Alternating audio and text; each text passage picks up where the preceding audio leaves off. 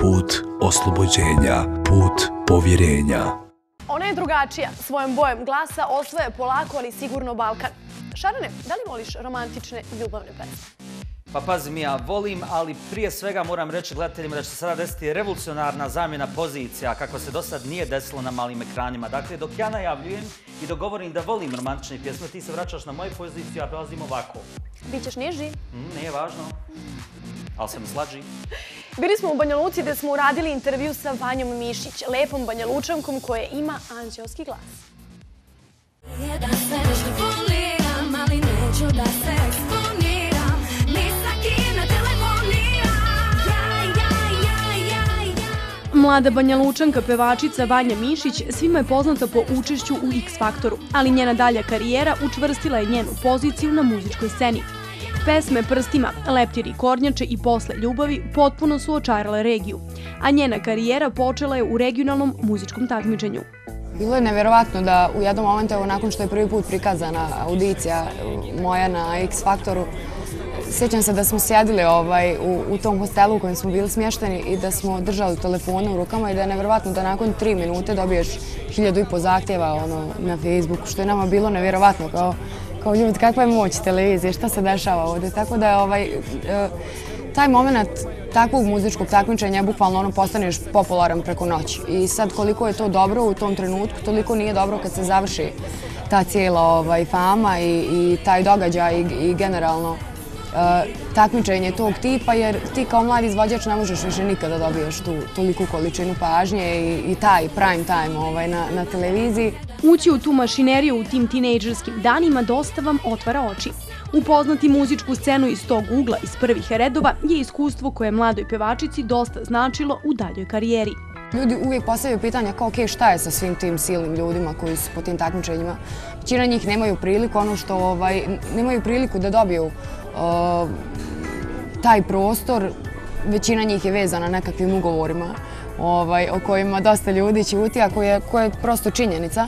Mi smo imali sreću da smo nekako ovaj, i pošteđeni toga bili nakon X faktora, ali svakako da jeste iskustvo. Dakle, u tih šest mjeseci, ja volim reći, zipovano je sve ono što ti se može desiti kada se baviš tim poslom. Dakle, ono sjajnog, onih sjajnih stvari, dakle, to kad kao živiš svoj san, potpisuješ se ovaj, na, potpisuješ se na majice, na ruke, na ne znam ja, ovaj, kakve dijelove tijela, a, do onih ružnih momenta kada ovaj, roditelji, odjednom izlaziš ti u žutoj štampi, odjednom ti roditelji ovaj, čitaju kao nešto što ne bi trebalo.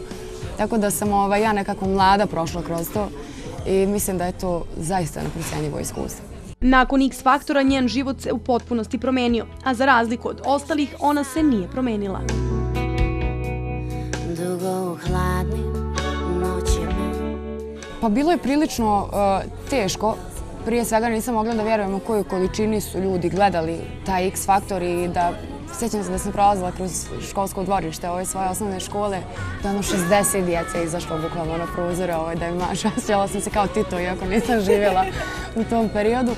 To mi je zaista bilo sjajno, ali uh, i taj moment poslije, o tom malo zaista ljudi priča, to je ta, ta okrutnost, koliko god ti dobiješ taj, tu količinu ljudi preko noći, za toliko brzo ćeš je izgubiti dosta ljudi se izgubi u tome i nekako e, dosta ljudi ponese ta slava i to šta znači ono kad, kad postaneš popularan preko noći. Ali ovaj, ja sam se nekako trudila uvijek da budem ovaj, dole na zemlji i to mi je jako pomoglo i onda nisam, nisam ovaj, osjetila nikakve oscilacije pretjerano. Posle takmičenja nastala je dilema šta dalje, kako pravilno postupati i zadržati se na muzičkoj sceni, da li platiti nekome da napiše pesmu ili iz srca pisati. Vanja je odabrala ovo drugo i tako je nastala njena prva autobiografska pesma pod nazivom Prstima. Bio je prilično mračan period, jedan od onih kad e, se presabirate u glavi, sjećam se ovaj da Uh, bio je period u kojima sam radila dva posla i, i imala svirke što sa svojim bendom, što sa drugim projektom koji se zove Rock Sinfonija. I odjednom dobijaš otkaz na jednom poslu, na drugom poslu, odjednom ni ljubav više ne ide, odjednom se sađaš sa prijateljima. Znaš, ono, ovaj, uh, zaista, ka, onaj domino efekt. Tako da je ovaj, prstima nekako bila izduvni ventil i nekako što mi najdraže od svega toga mi je to što uh, taj ogroman broj ljudi koji vole tu pjesmu stvarno je doživio tu pjesmu na pravi način. Jer mislim da ne postoji osoba koja se u jednom trenutku svog života nije osjećala na taj način. Kao da je sama i kao da joj treba nešto što će popraviti stvari preko noći. Tu se nije zaustavila. Slede još dve pesme, Leptiri i Kornjače i Posle ljubavi. Njene pesme su ljubavne i svaki stih je autobiografski. Slušajući njene pesme upoznajete Vanju stih po stih.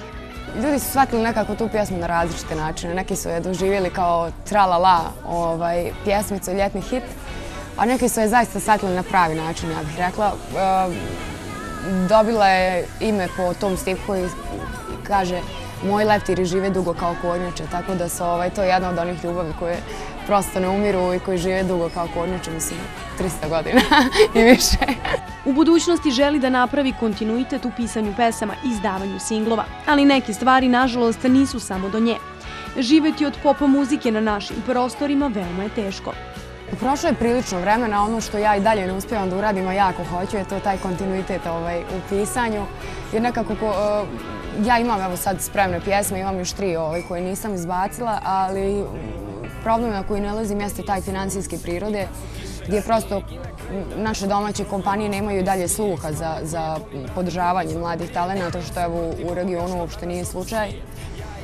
Tako da nekako ovaj, oko toga se i dalje borimo dok eh, ne počnu lijegati ti tantijemi od autorskih prava, dok se ne počne ovaj, zaista ulagati našto ozbiljno u tu priču, ali evo meni je drago da a, pored te velike većine koja neće da vam izađe u susret i dalje postoje sjajni ljudi kojima zakucate na vrata i koji će vam izaći u susret i pomoći, u stvari pomoći vam da, da ostvarite nešto što u čemu ste jako dobri.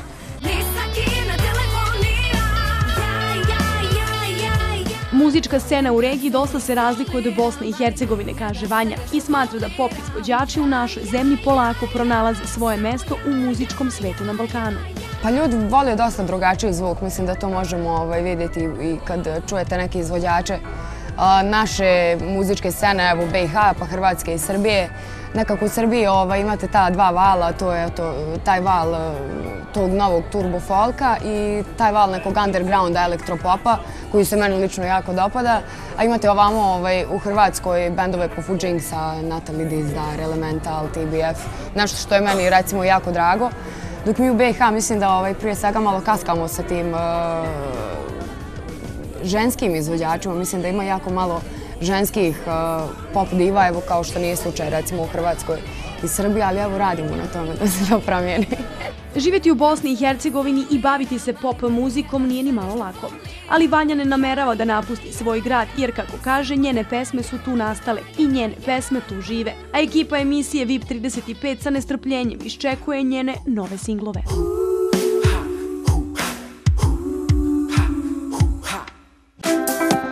TV1, vaša i najbolja televizija. Pretplatite se na naš YouTube kanal. Budite informisani i super se zabavite.